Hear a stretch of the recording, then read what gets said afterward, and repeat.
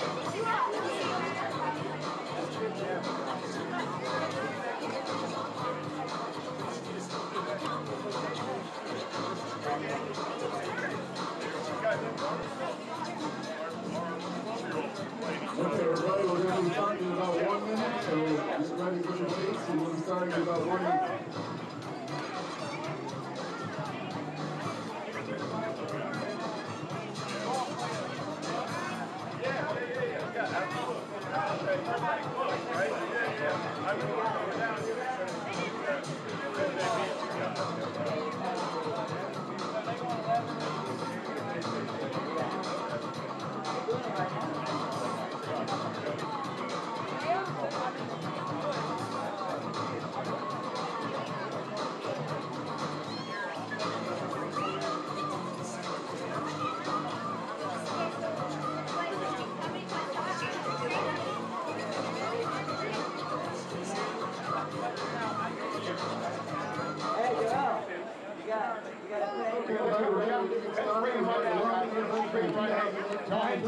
Champions for 9 to 11 year olds.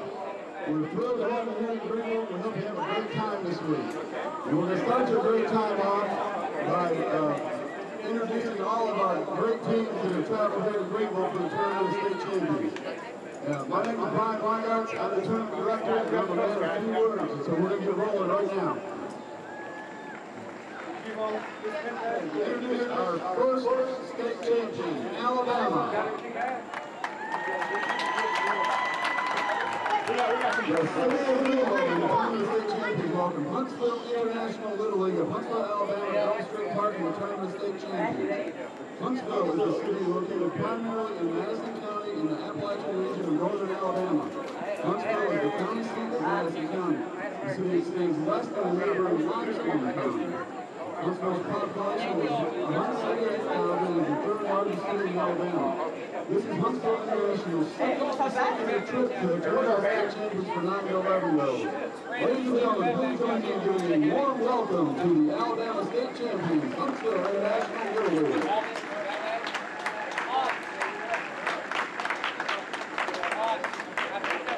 Go up. Go up. Run around one time. Three, five. Our next state champion is from the state of Florida. city of Greenville and the tournament state champions welcome Mark League of Palm City, Florida to. Palm City is a census-designated place in Martin County, Florida has population of about 30,000. Palm City is part of Port very easy ride from the to Palm City, St. Lucie, New York Florida Florida of to by at First Field.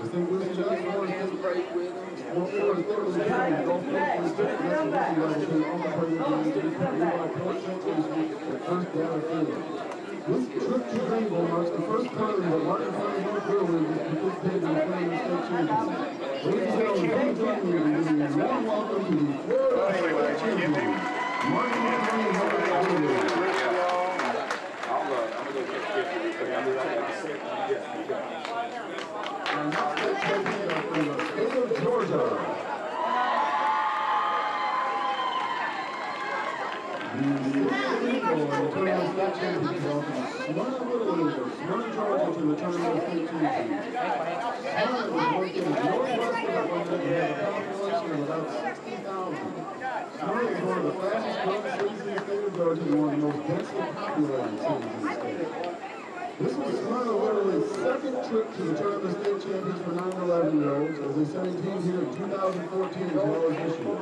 Ladies and gentlemen, please join me in giving a warm welcome to the Georgia State champions, Smyrna League.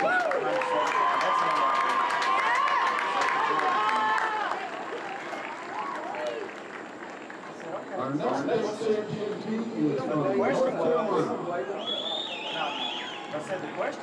The city of Greenville tournament state champions welcome Tar Heel Buildings of Greenville, North Carolina Elm Street Park in the tournament state champions. Greenville is the county seat of Pitt County, city of the Greenville metropolitan area, and the tenth largest city in the state of North Carolina. The city has a population of about ninety thousand. East Carolina University, a university with nearly thirty thousand students within walking distance of Elm Street Park. Heel Little League's third trip to the tournament state champions for 9-11 year olds. Ladies and gentlemen, please join me in giving a warm welcome to the North Carolina State Champions Tar Heel Little League.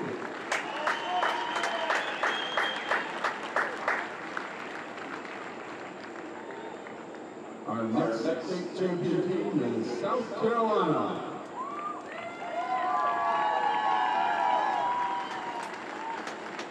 The city of and the tournament state champions welcome Northwood League of Taylor, South Carolina, Elm Street Park, and the tournament state champions.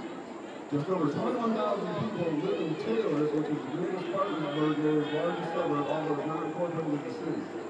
Taylor is an unincorporated buffer zone between the cities of Greenville and Greer in South Carolina, located in the upstate region of South Carolina in Greenville County.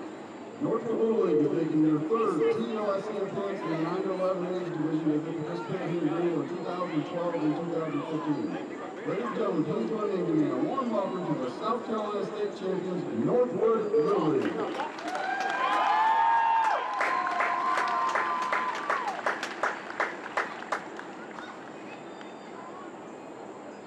Our next state champion team is Tennessee.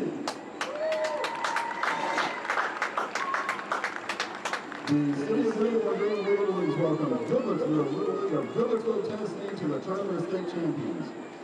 Goodlettsville is a town of approximately 17,000 located just 16 miles from Nashville. Goodlettsville is located in both Davidson and Sumner counties and was incorporated as a city in 1958.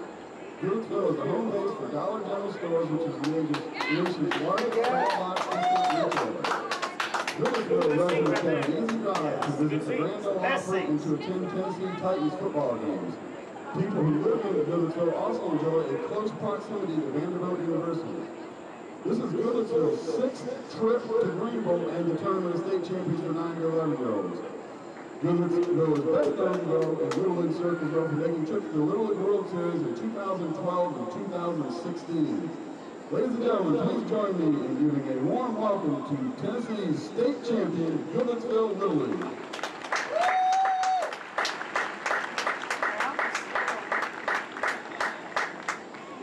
Our next state champions are the state champions from Virginia. The city of Greenville Little Leagues welcome Loudoun South American Little League of Loudoun County, Virginia to the tournament state champions. Loudoun County is located between Washington D.C. and the Shenandoah Valley of Virginia. To the east, Dulles International Airport and commerce thrive while the western section still maintains its small farms, towns,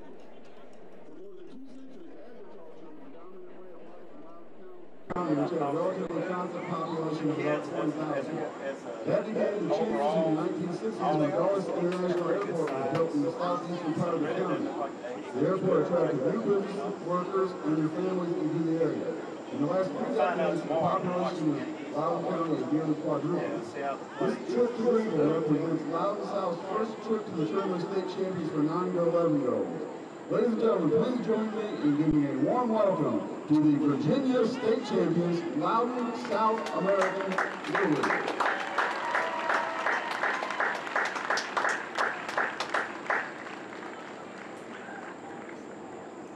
And now for our last state champion, West Virginia.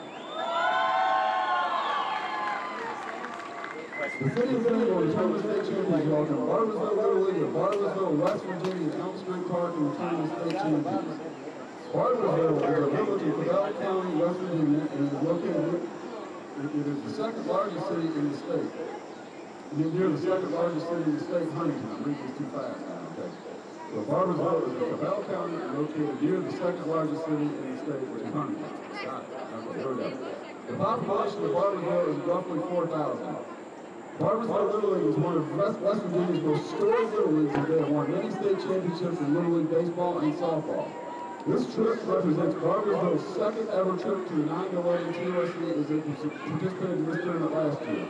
Ladies and gentlemen, please join me in giving a warm welcome to the West Virginia state champions, Barboursville Little League.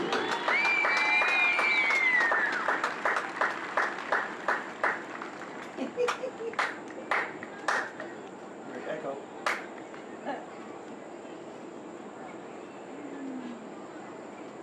Okay, to all the players and coaches, once Barboursville up we're gonna have a quick picture of everybody out here, and then we're gonna, um, let you know what's going on. It's cold and the only one doing the hang Only one part. Okay, we'd like to have all our players here squeezed together. You can see the lady up here in the black shirt, right in the middle of the top row of the stage, that's who's taking the picture. If you could smile for her, that would be most appreciated. I'm looking forward to home run derby.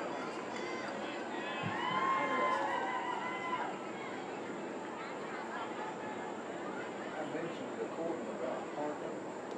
We didn't hit one, remember? We didn't hit five. Didn't hit five in the World Series. And that's where.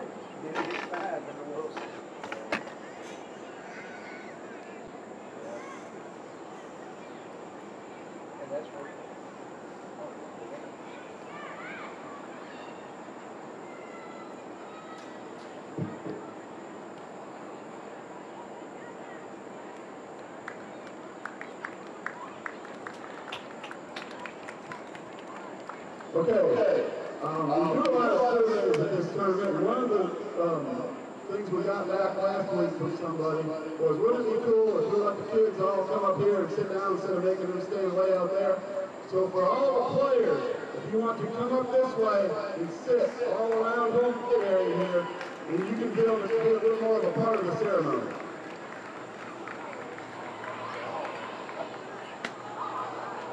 Well, that's different. I didn't know they were doing that. Yeah. It's the first.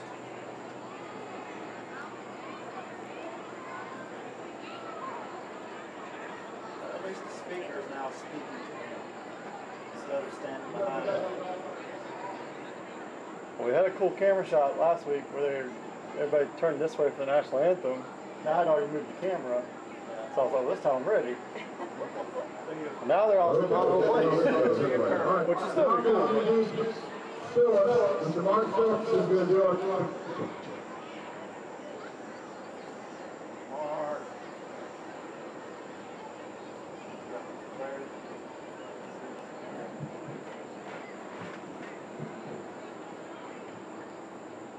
Good evening. Good evening. Let's do a same thing for, for our behalf of beautiful evening. The family, and teammates to join together on the opening of the tournament state station for our nine-year-old program. It's um, it's difficult to do with the fans. I can't turn the camera mics up because all you hear is the fans. Your game, like a real player, from the early on the title the mission to tell a strike from the ball, never to throw and never to fall. Keep me always on the baseline, running straight and true, and I'll look for your sign to stretch one into two. God give me vision to see every pitch, so if the player needs help, then I'll let you reach. Let me always hustle, so I'll be at my best, and take pride in myself, in sports and the rest. God be my strength when I throw the ball, when far from home plate or against the wall. So I never miss a base, please guide my feet. Bring me home safely, so my job is complete. When I help younger players, let me always give praise. They'll say they'll see you and me in all my ways. God please guide our coach to be fair and smart, to teach us to be good, it come from his heart. Let me take a loss just as well as a win. To do any less is surely a sin. As long as I can play, let me make my parents proud, as proud as I am when they yell my name out loud. However my games end, let me always have fun, and if heaven has all-stars, I want to be one. When my games here are over and my seasons are done, let me play on your team just like my son. Amen. Mark's been commentating some of the games. and Now this time, He hasn't. I could have swore hearing his voice. I'm like, man, have I been listening to Mark during the 10 year old tournament? Who's been doing the commentary? Uh, Yeah. I mean, I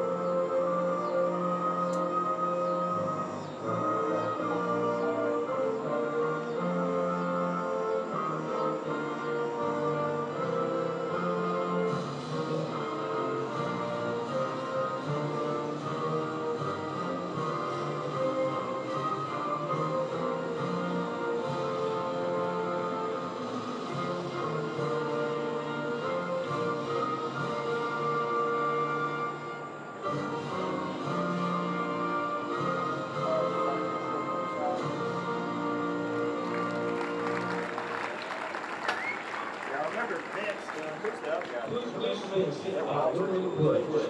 trust God. I love my country. And where respect laws. I will play fair. And strive to win. But win lose. I will always do my best. Thank you, ladies.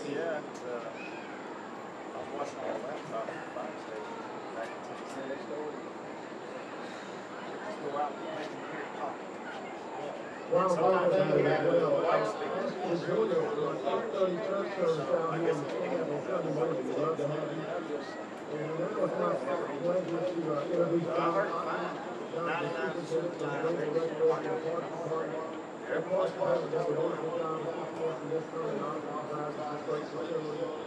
Give them to pleasure. them messages. Come on, Ashley.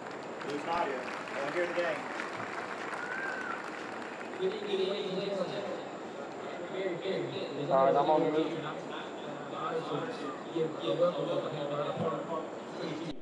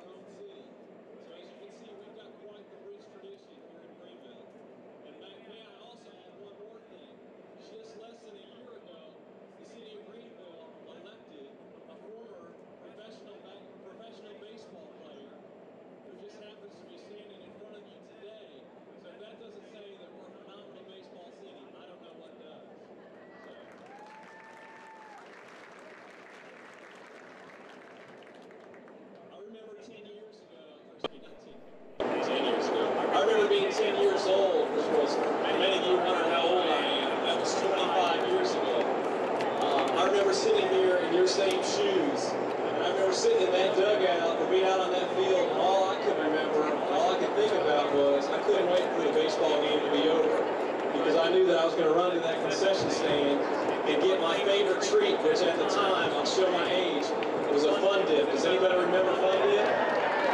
Yeah, Fun Dip. That was my favorite thing. Any type of candy that I could have, I couldn't wait for that game to be over.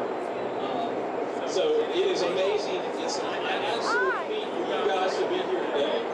Um, I hope that each one of you understands the importance and feels pride in the fact that you guys are wearing the state that you represent on the front of your shirts, and you should be proud of that. That is quite an accomplishment. So I would just like everybody here, let's all give them a, a round of applause. for that.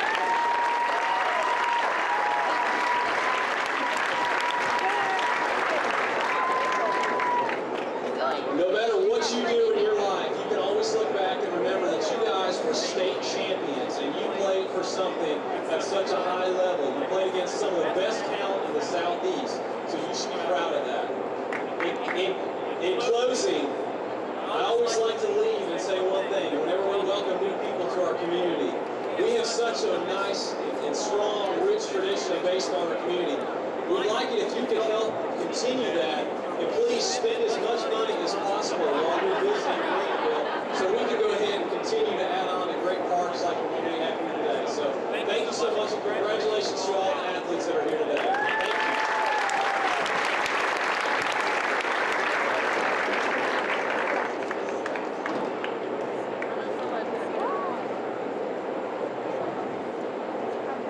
Okay, at this time, I'd like to introduce our guest speaker.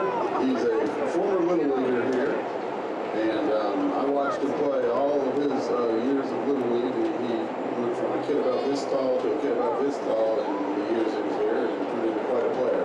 He was a 2016 draft pick of the Detroit Tigers. He played at Liberty University from 2012 to 2016 and started every game of his career. He's a program record for career games. He played 239. Program record for assists, 663. Fourth all-time in career hits with 249. Um, was two times on Big South All-Tournament Team, four-time Big South Presidential Honor Roll. That means he got good grades. Okay. In 2013, Coastal Plains League All-Star. Um, he was a short, starting shortstop for the East in that, that game. Um, he was a five-time All-Star here in Greenville. Quite a ball player, anyway. And he's really, and I know this is trite saying this, but he's really even a better person than he is a ball player, no question about it. Let me introduce to you Dalton Britt.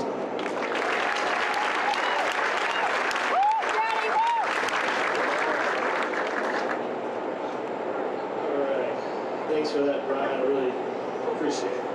Pull a PJ, pull this off. Um, welcome to the city of Greenville. You know, it's it's truly an amazing setting for such an amazing weekend. So it's it's pretty easy to enjoy, but you know, also appreciate what you've already accomplished. What you guys have accomplished, it only gets harder from here. Being a state champion in anything is, is something really, really special. And you need to cherish it. Not just you, but your parents, because most likely they drove you here. So it's something that you all really cherish when you are going to Logan, West Virginia for a, for a state championship, or you're going to Wilson for a state championship. You know, they're the ones driving you. So I know as much as it's not cool to do, always thank your parents for, for taking you everywhere, because someday you're going to have to pay for your own gas. And I wish they could still do that stuff. So um, just really appreciate the state championship. In an age of travel ball being as prominent as it is, there's something special about representing your area. And that's something that you guys really need to take pride in. I mean, it's, it's, it's easy to do. I mean, just when they were calling your names out, there was, there was cheers that are just as loud as when you guys hit home runs. There's a reason for that. You know, the, the name on the front of the jersey is really important. And so just take pride in that and continue to appreciate that. I also want to thank the players for taking a break from Fortnite to be able to be out there.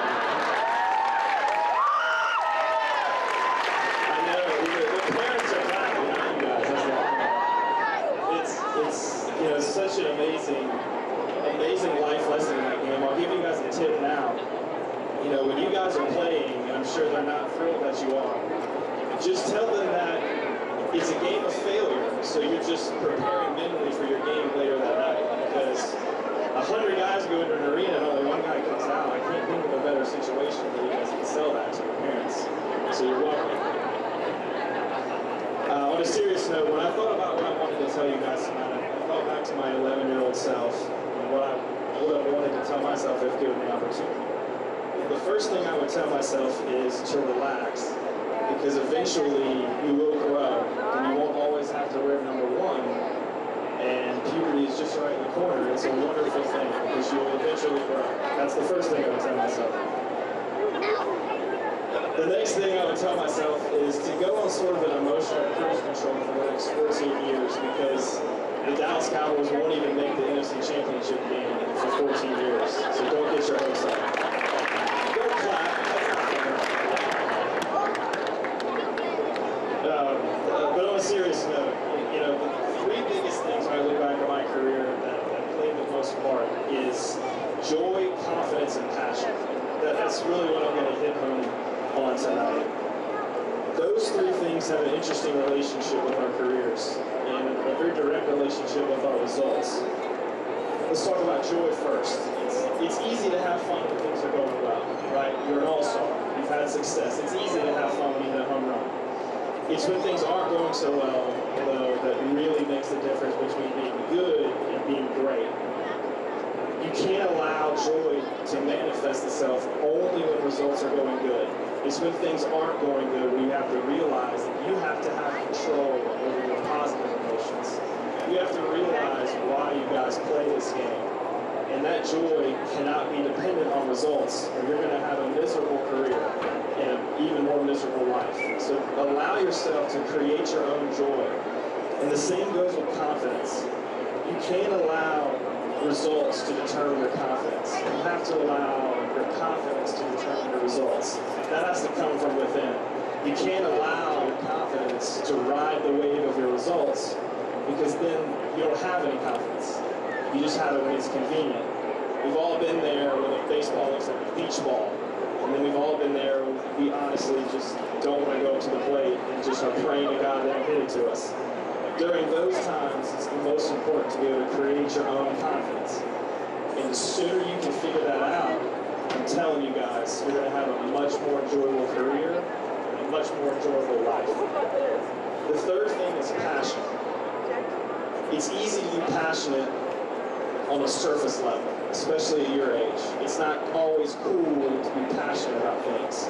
The sooner you can kick that habit now, the much better teammate, brother, and son you're going to be. Be passionate about as many things as you possibly can, and don't allow negative results to impact your passions. So again, if you can master your joy, your confidence, and your passion, and don't allow those things to be dependent upon your results, you're going to be much better men, much better baseball players, and have a much better life going forward. So allow yourself to enjoy this weekend. I mean, a lot of people don't understand, this is not run by Little League International. Everything that you see is done by Brian staff here. It's pretty incredible what they do. So allow yourselves to make anything.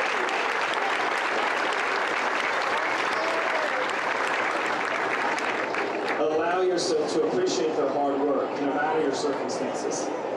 Uh, but thanks for having me. Thanks for listening. Barbecue is like 10 minutes away, so just lock in for like 10 minutes. Uh, but good luck this weekend, and good luck in Fortnite as well.